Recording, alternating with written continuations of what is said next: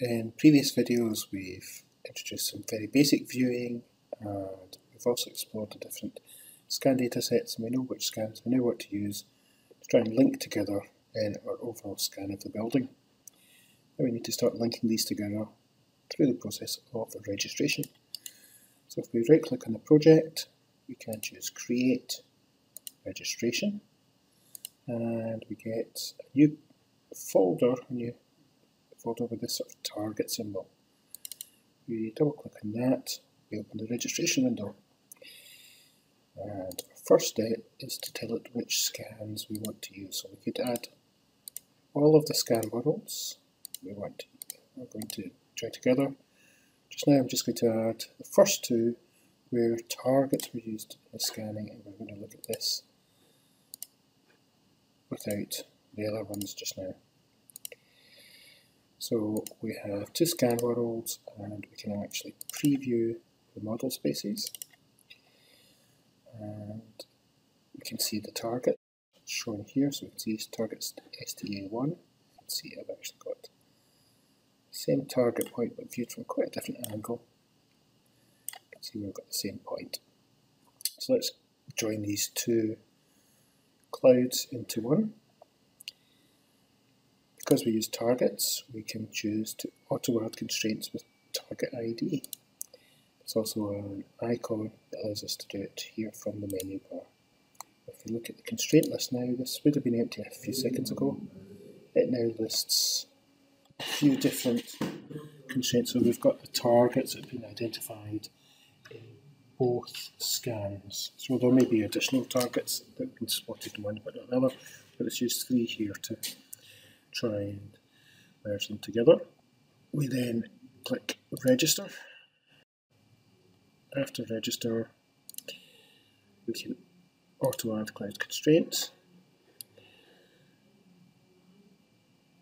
And here it's going to tell us we've got an error of what's that, um, one millimeter.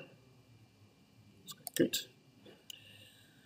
And if we want to see the result of joining these two, now remember, as a good example, I've got this big hole here in this set, and underneath where the scanners were in each of these two scans.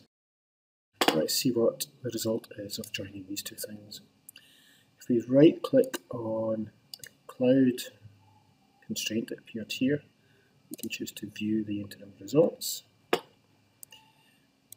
and here we are and we can actually immediately see one of the holes that was there has been filled in partly.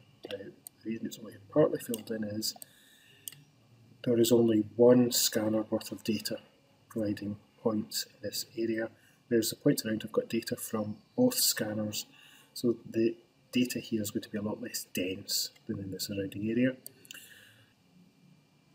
Okay, and so we can look around and we can see the same with the other point. So it looks like both scans have been registered. So if we want to actually compare the two scans to see the data that came from each of the two scans, we can, let's get this so we've got both holes in view.